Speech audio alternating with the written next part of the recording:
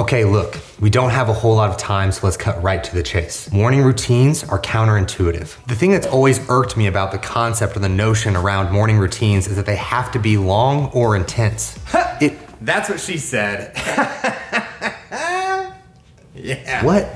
No, it just has to be beneficial. The right habits, the right flow, fast or slow, whatever helps you feel ready for your day. A few simple acts can make the world of a difference in setting yourself up for success. Man, give me that. The key to success for you to own your morning starts the night before. Before I bury my head into the comfy embrace of my sweet soft pillow, I do a couple of things. I lay out my clothes for training and work, I write out my schedule and my to-do list, and if I'm lucky, I get to make sweet love to that curly haired blonde girl you guys see in all our videos. all right.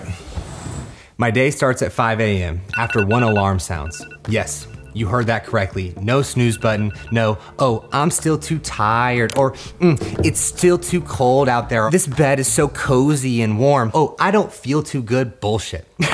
you are responsible for your own happiness and success. Act like it. We set our intentions the night before. We know what is best for us. There's no negotiation. It is time to get the day started. I want everything to feel robotic. I use the restroom. I throw on my gym clothes. I turn my blindness back into vision with my contacts and head downstairs. Look, man, I'm just like you. I'm not thrilled that I have to be up this early. I'd much rather stay in bed with my dogs and wife and cuddle up, but I know it is going to get me one step closer to my goals. Understanding that is enough for me to get moving.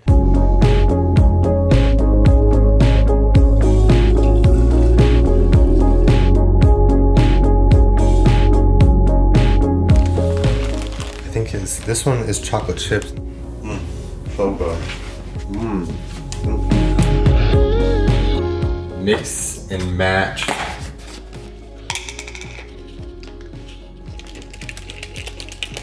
This is a really good combo. This being only 50 milligrams of caffeine is helpful. Then I'm able to still drink a little bit of caffeine later. Time to go train. What? Not you guys.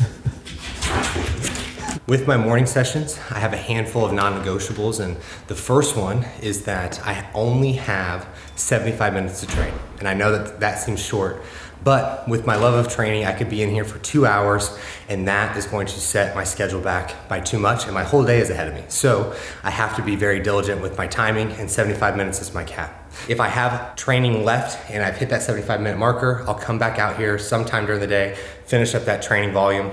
Is it the best? No, but is it the best for me? Yes, because I have to go on with my schedule.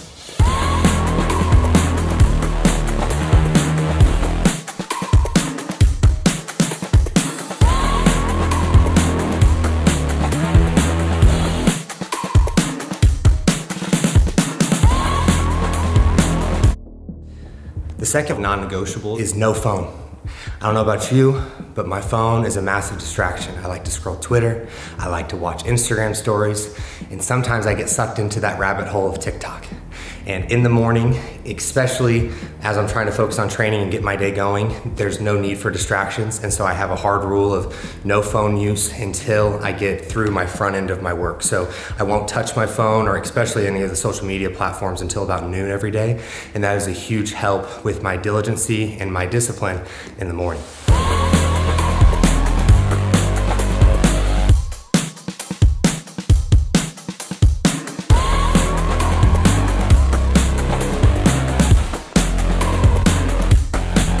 The last one is hydration. So we're sleeping for seven to nine hours. No hydration in that time frame. It's very important for our training and the muscular contractions that we're trying to create for that hydration to be there. So getting at least 20 to 30 ounces of water prior to the training session, and then I'm sipping on another 20 to 30 ounces while I'm training. It will help your training a bunch as well as get your day started. I have a lot of clients who struggle with getting in a gallon, and just by the end of this training session, I'll have 60 ounces, and a gallon's 128 ounces. So before you know 7:30 in the morning, I've already got half a gallon in of my water, and it really gets me started on a good note.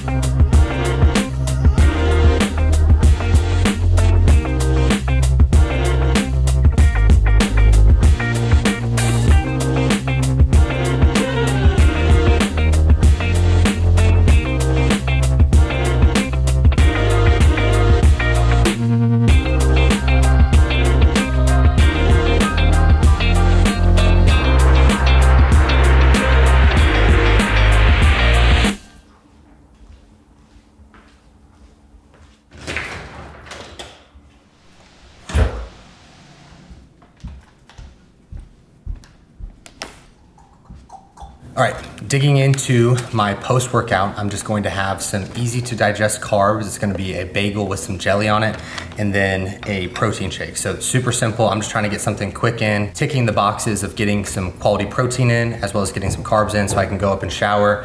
And then once I'm done showering, I can get right into work.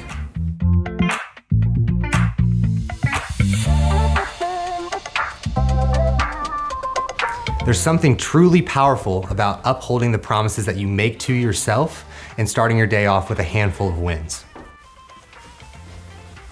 Now that you've seen how I set up my morning, it's probably a great time for me to introduce myself. My name is Alex Bush. I have a bachelor's degree in exercise science, and I've been an online fitness coach for the greater part of the last decade. I've helped thousands of individuals reach their dream bodies and create an ironclad mindset. For those thousands of success stories, a pivotal piece to that equation was that each of them dominated their mornings. Owning your morning will increase your happiness, reduce your stress, increase your chances of success, and improve your overall well being. It's not about the length or the intensity that induces these benefits, but it's about having a flow of habits that will create momentum to start your day.